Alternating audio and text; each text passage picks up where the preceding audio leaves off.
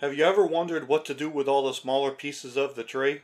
This is one way to use the branches and the smaller pieces of the trunk for something other than firewood.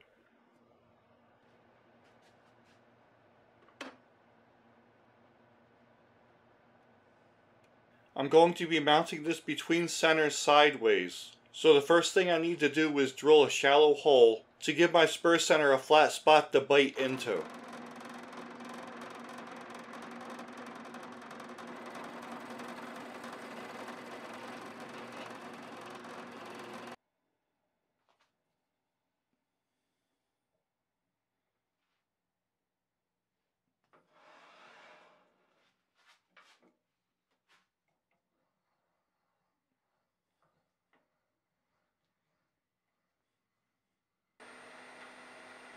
Now that I have it mounted between centers, I'm starting with a 5 8 bowl gouge.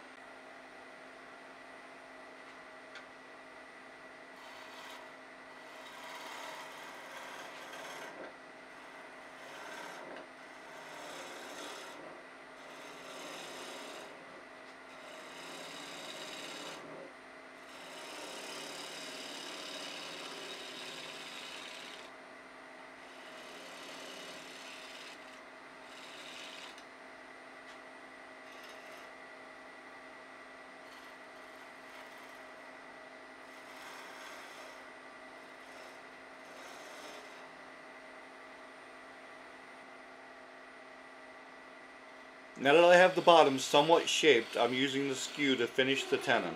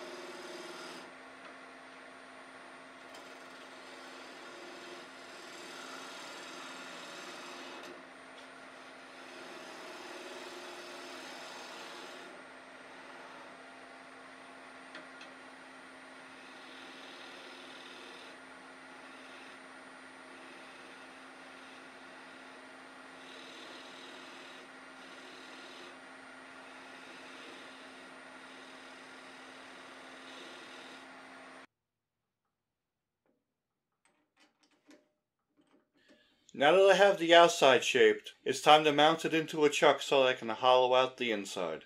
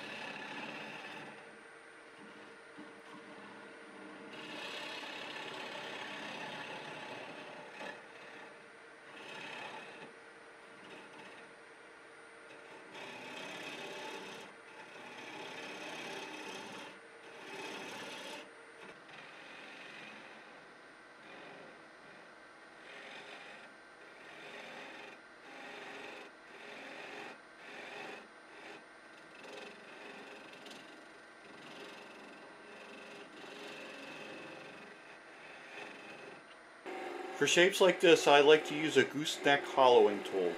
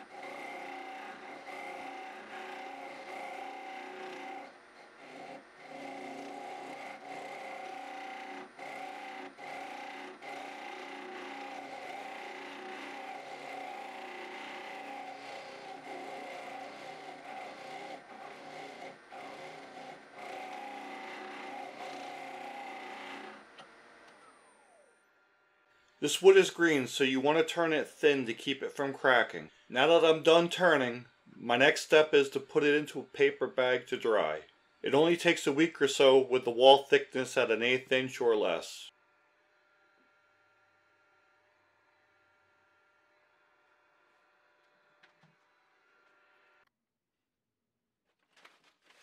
Now that it's all dry, the next step I need to do is sand off all the fuzz from the drying process. I'm starting at 150 grit and I'll work my way up to 320 grit.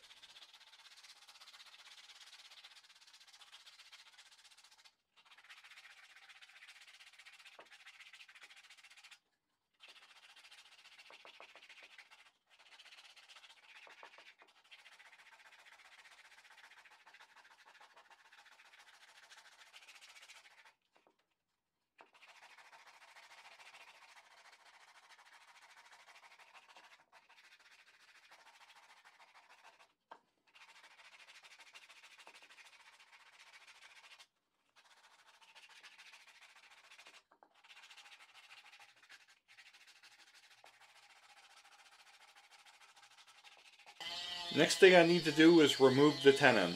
A rotary tool makes quick work of it.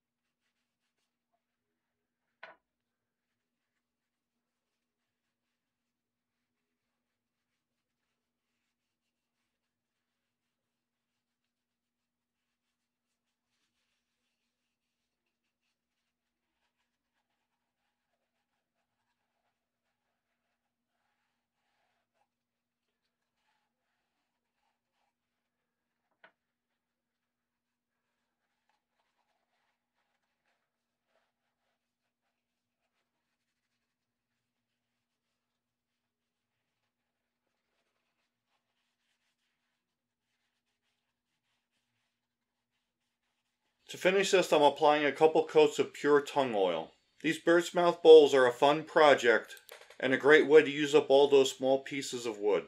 Check out this video next to see more of what I make.